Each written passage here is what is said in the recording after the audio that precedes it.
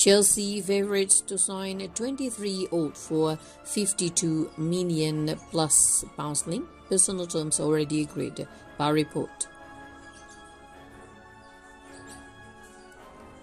Chelsea are the front runners to sign Sevilla defender Jules Koundé despite the transfer interest from Barcelona, according to reports in Spain.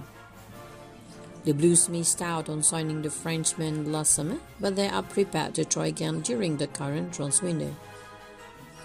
According to Spanish publication Marca, Chelsea have already agreed personal terms over a five-year contract with the central defender.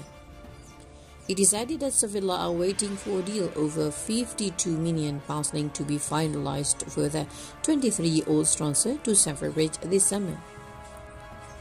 Barcelona have also been linked with the Bordeaux graduate, but Sevilla prefer to sell Koundé rather than boosting their league rivals. Hence, it is claimed that all roads lead to Chelsea. They could pay the entire fee up front, unlike Barcelona, who are dealing with financial issues.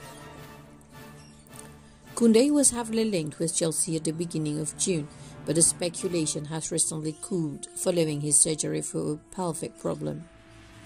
This may not act as a stumbling block for a transfer, considering the La Liga outfit have confirmed that he would be fit in time for the new campaign.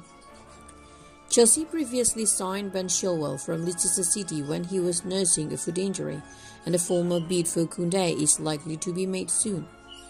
The Frenchman generally operates as the right-sided central defender at Sevilla, and he could fit perfectly on the right side of the back three for Chelsea. He could be considered a replacement for Andreas Christensen, who will leave the club on a free transfer when his deal expires at the end of the month. Meanwhile, Thomas Tuchel's side may also want a replacement for Antonio Rudiger on the left side of the back three following his switch to Real Madrid. They could be eyeing an experienced player. The Inter Milan Stefan de Vrij would be a quality low-cost option for Chelsea with similar attributes for Rudiger.